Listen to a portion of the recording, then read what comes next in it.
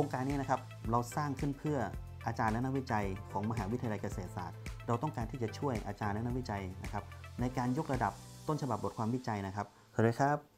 ผมนายธนพลชัยแสนนะครับรองผู้อำนวยการสถาบันวิจัยและพัฒนาแห่งมหาวิทยาลัยเกษตรศาสตร์ฝ่ายประสานงานวิจัยนะครับ ผมวันนี้นะครับผมก็มีโครงการดีๆนะครับที่จะมาประชาสัมพันธ์ให้กับอาจารย์และนักวิจัยทุกท่านนะครับ พื่อเป็นการยกระดับเพิ่มผลงานวิจัยนะครับตีพิมพ์ระดับโลกให้กับมหาวิทยาลัยเกษตรศาสตร์ของเรานะครับเนื่องด้วยมหาวิทยาลัยเกษตรศาสตร์นะครับได้ให้ความสำคัญนะครับกับ ranking ของมหาวิทยาลัยนะครับในระดับโลกนะครับก็เลยได้พัฒนาโครงการนะครับที่มีชื่อว่าการเพิ่มผลงานวิจัยตีพิมพ์ระดับโลกนะครับผมซึ่งมีเป้าหมายในการที่จะเพิ่มจำนวนผลงานวิจัยตีพิมพ์นะครับในระดับนานาชาตินะครับให้กับ มหาวิทยาลัยเกษตรศาสตร์นะครับ โดยโครงการตัวนี้นะครับเราก็แบ่งออกเป็น 2 โครงการย่อยด้วยกันนะครับ โครงการแรกนะครับก็คือการเพิ่มจำนวนต้นฉบับเชิงรุกเพื่อตีพิมพ์ในระดับนานาชาตินะครับ แล้วส่วนโครงการที่ 2 ก็คือ โครงการการเพิ่มจำนวนตีพิมพ์ เพื่อการแข่งขันในลำดับ 1 ใน 5 ของประเทศนะครับครับ โดยโครงการเพิ่มจำนวนต้นฉบับเชิงรุกเนี่ยนะครับ เรามีเป้าหมายที่จะช่วยอาจารย์และนักวิจัยนะครับ ในการยกระดับต้นฉบับผลงานวิจัยนะครับ ให้เป็นภาษาอังกฤษที่มันมีคุณภาพนะครับ โดยอาจารย์และนักวิจัยสามารถที่จะส่งต้นฉบับบทความวิจัยนะครับเป็นภาษาไทยครับมายังสวพมก แล้วก็เราจะมีกระบวนการในการที่จะพัฒนายกระดับทั้งคุณภาพของของเชิงวิชาการ แล้วก็มีการแก้ภาษาจากภาษาไทยเป็นภาษาอังกฤษ ให้กับนักวิจัย แล้วก็ส่งกลับให้นักวิจัย เพื่อ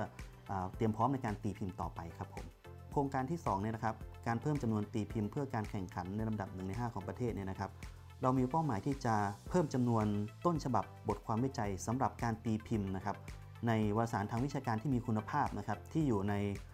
Q1 และ Q2 ของฐานข้อมูล Scopus นะครับผมเพื่อยกระดับนะครับ ranking ของมหาวิทยาลัยวิทยาลัย โดยใช้ผลงานวิจัยตีพิมพ์ครับผมโดยโครงการนี้นะครับอาจารย์สามารถที่จะเตรียมต้นฉบับบทความวิจัยนะครับเป็นภาษาอังกฤษนะครับส่งมาที่สวพนะครับแล้วทางสวพเราก็จะมีกระบวนการนะครับในการประเมินนะครับตรวจแก้ภาษานะครับ แล้วก็ส่งต้นฉบับบทความวิจัยที่มีการตรวจแก้ภาษาแล้วนะครับ พร้อมทั้ง certificate ทางด้านภาษาอังกฤษนะครับ รวมถึง cover letter นะครับ ส่งให้กับอาจารย์นะครับ เพื่อเตรียมพร้อมในการ submit นะครับ ต้นฉบับบทความวิจัยนั้นนะครับ ไปยังวารสารทางวิชาการที่มีคุณภาพต่อไปครับ โดยโครงการที่2เนี่ยนะครับ ในการตรวจแก้ภาษาเนี่ยนะครับ เราจะมีผู้เชี่ยวชาญด้านภาษานะครับ ที่เป็น native speaker รวมทั้งเป็น editor นะครับ ที่มีความเชี่ยวชาญอยู่แล้วในการ edit ตัวเมนูสคริปต์นะครับเพื่อเข้าเพื่อเข้ามาช่วยในการตรวจแก้ภาษาให้กับเรานะครับโดยคุณสมบัติของผู้ที่เข้าร่วมโครงการนะครับอย่างแรกนะครับต้องเป็นอาจารย์นักวิจัยนะครับที่อยู่ในมหาวิทยาลัยเกษตรศาสตร์นะครับทุกวิทยาเขตนะครับสามารถเข้าร่วมโครงการนี้ได้เลยนะครับโดยมีข้อแม้ว่า ต้นฉบับบทความวิจัยที่เข้าร่วมโครงการนี้นะครับต้องมีอาจารย์นักวิจัยของมหาวิทยาลัยเกษตรศาสตร์เป็น first author หรือว่าเป็น corresponding author เท่านั้นนะครับผม นอกจากนี้นะครับนิสิตระดับปริญญาโทปริญญาเอกก็สามารถเข้าร่วมโครงการได้ครับ สามารถที่จะเข้าร่วมโดยผ่านอาจารย์ที่ปรึกษาครับผมส่งเอกสารผ่านอาจารย์ที่ปรึกษามายังสวพมกครับแล้วเราก็จะดำเนินการในการประเมินต้นฉบับบทความวิจัย แล้วก็เข้าสู่กระบวนการในการตรวจแก้ต่อไปครับผมสำหรับเงื่อนไขนะครับในการเข้าร่วมโครงการอีกอย่างหนึ่งนะครับ หรือว่าเป็น KPI ของโครงการนี้นะครับก็คือว่าในโครงการเพิ่มจำนวนต้นฉบับเชิงรุกเพื่อการตีพิมพ์ในระดับนานาชาติเนี่ยนะครับหลังจากที่เรามีการตรวจแก้ภาษาเสร็จแล้วเนี่ยนะครับส่งกลับไปให้อาจารย์นักวิจัยแล้วนะครับอาจารย์นักวิจัยจะต้องซับมิดโครงการนี้นะครับไปยังวารสารในระดับนานาชาตินะครับเราก็จะมีการติดตามแล้วก็สอบถามไปยังอาจารย์อีกครั้งหนึ่งนะครับว่าผลงานที่เราส่งกลับไปให้อาจารย์นะครับได้รับการตีพิมพ์หรือไม่นะครับ ส่วนเงื่อนไขของโครงการที่2นะครับหลังจากที่มีการตรวจตรวจแก้ไขภาษานะครับจากผู้เชี่ยวชาญด้านภาษานะครับที่ต่างประเทศที่เป็น native speaker เสร็จแล้วนะครับ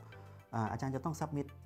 ตัวต้นฉบับนะครับหรือเมนูสคริปต์นะครับไปยังวารสารระดับนานาชาติที่อยู่ใน Q1 Q2 ของ Scopus ครับแล้วเราก็จะมีกระบวนการติดตามนะครับแล้วก็สอบถามอาจารย์ไปว่า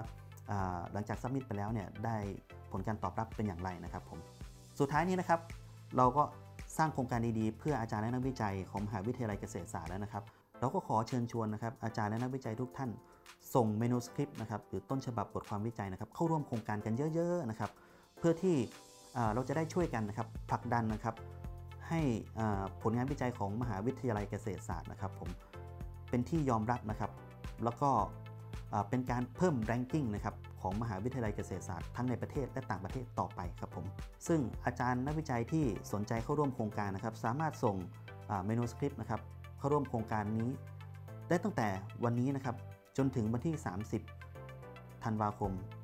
2564 อาจารย์สามารถติดต่อสอบถามนะครับ ข้อมูลของโครงการวิจัยนี้ได้ที่ฝ่ายประสานงานวิจัยนะครับ ของสถาบันวิจัยและพัฒนาแห่งมหาวิทยาลัยเกษตรศาสตร์ หรือ อาจารย์สามารถตรวจสอบข้อมูลได้ด้วยตนเองนะครับ โดยเข้าที่เว็บไซต์นะครับของมหาวิทยาลัยเกษตรศาสตร์นะครับ